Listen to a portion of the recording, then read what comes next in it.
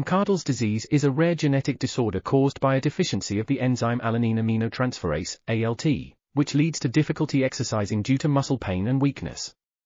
Periodontal disease is a chronic inflammatory condition affecting the gums and surrounding structures of the teeth.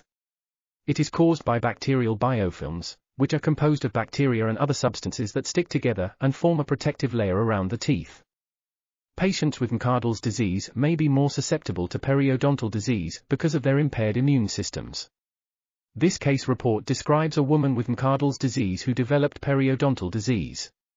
She was treated with a combination of oral hygiene instructions, probiotics, and debridement using DBIOTECH.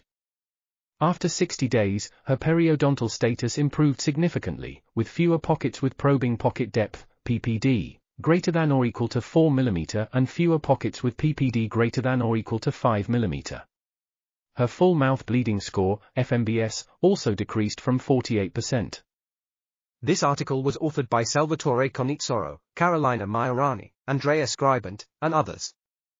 We are RTCL.TV, links in the description below.